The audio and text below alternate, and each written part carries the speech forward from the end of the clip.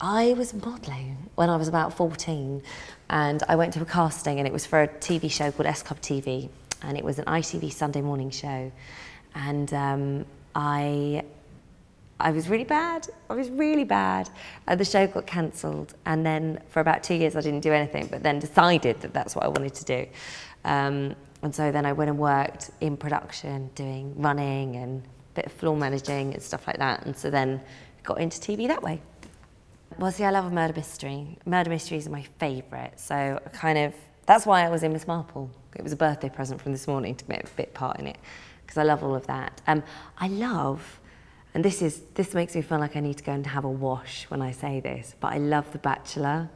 Love it. It's like genius. The Gavin Henson first series, this chat with the dude from um, Chelsea, whatever it is, which I don't watch, so I don't I don't know who he is, but he's brilliant in this. So yeah, The, the Bachelor is my number one at the moment. I'm going to regret saying that out loud, but it is really good. I always find it really difficult not to laugh at something that I shouldn't do on this morning. It is really difficult sometimes.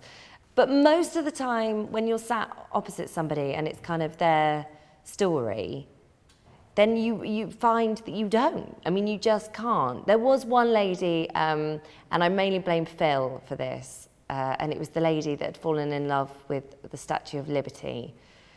And if you watch that back, there's not that many close-up shots of me. Uh, it's mainly a wide shot of the guest. And that's because Phil next to me did this kind of noise. And then once he did that, that was it. I was, I was gone.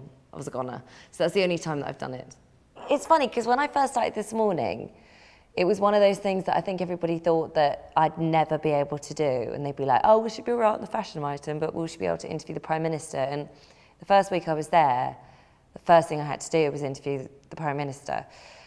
And I think the more you do of that sort of thing, the easier it becomes. Um, and actually what I realised pretty early on is that you don't need to tailor your, the way you ask questions to the person as such. I sort of, because what you find is, this morning is watched by people like me that quite often don't understand all the political language and all the stuff that they fluff about around the edges.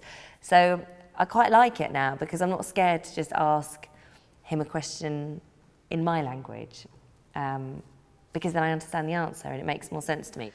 Phil and I have worked together for a long time. I mean, we did seven years of Dancing on Ice together and then I'm about to start my third year of this morning, would you believe?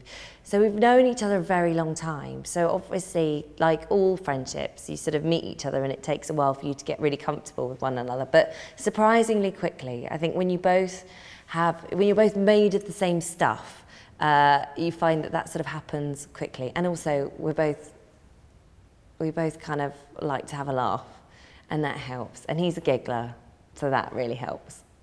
Um, we don't go on holiday together, but we, he the last few years where we've been on holiday, he's also just happened to be there.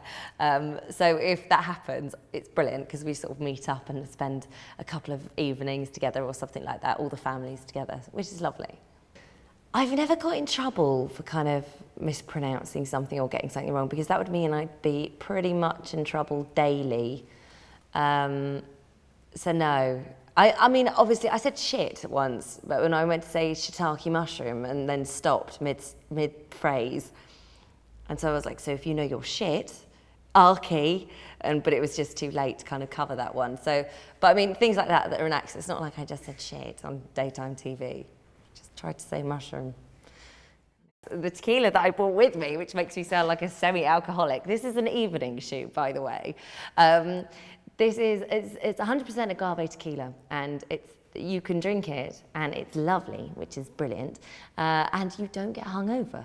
And it's, I've tried and tested this method many a times and I can tell you, you don't. So, but obviously drink carefully.